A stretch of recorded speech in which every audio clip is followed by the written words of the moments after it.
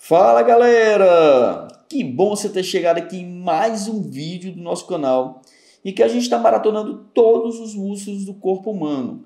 Olha só, cacete, tá muito doido. Com origem, com inserção, com inervação, com vascularização, com a parte clínica, com exame de imagem, com uma porrada de coisa. Então já te convido para você se inscrever no nosso canal e maratonar todos os outros vídeos.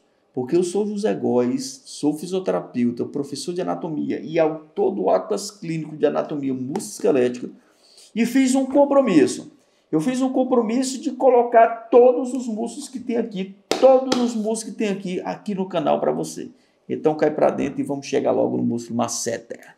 Gente, esse músculo masseter é muito importante, tá? Esse músculo masseter, olha só, ele é um músculo que ele tem uma origem no arco zigomático, tá certo? Através do fascículo superficial. E esse músculo, ele tem também um fascículo profundo, tá certo? E nesse fascículo profundo, ele tem no terço posterior da face interna do arco zigomático a sua origem. Esse músculo ele tem uma inserção do fascículo superficial, tá?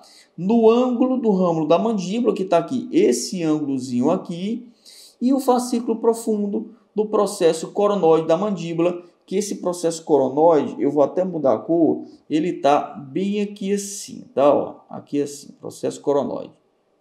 Show? Galera, olha só, deixa eu, deixa eu acabar de, de falar as paradas dele aqui e a gente vai já para a parte clínica, para você entender a importância. Esse aqui é um dos músculos mais importantes da face, tá? Aguenta aí. Esse músculo é nervado pelo nervo macentérico, que é um ramo mandibular do nervo trigêmeo, que faz parte do quinto par de nervo craniano. Então, assim, é, se você está maratonando nossos vídeos, se liga que eu falo sempre que quase todos os músculos aqui da face, eles são nervados pelo nervo facial. E falo para vocês também que é, quase todos os músculos da face também são vascularizados pela artéria facial. Esse músculo maceta, ele é vascularizado tanto pela, pela artéria facial transversa como também pela artéria maxilar. Esse músculo, ele faz a elevação, a oclusão da mandíbula, ou seja, o fechamento da boca, ele que trava. Por que, que esse músculo é tão importante?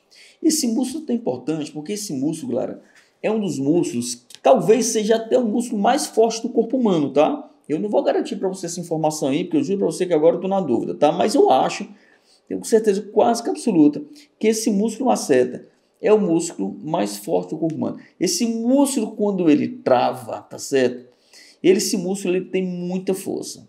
Então veja bem, quero até atentar para vocês. Eu não sei se vocês sabem, mas a minha primeira formação foi em primeiro socorros. Eu sou socorrista, tá? E já passei um tempo fazendo um, um trabalho de, de atendimento de resgate, tenho uma experiência muito bacana nisso aí. Quando você vai fazer o ABCDE, que é a primeira abordagem à vítima, e que você quer ver se tem alguma obstrução de via aérea superior, você tem que abrir a boca do, da vítima e essa abertura de boca tem que ser com o dedo cruzado, tem que ser assim, ó, um dedinho embaixo, outro em cima, ó. Você entende? Dedo cruzado? Por que, que você tem que fazer com o dedo cruzado? Porque se o camarada morder, ele pode amputar os teus dedos.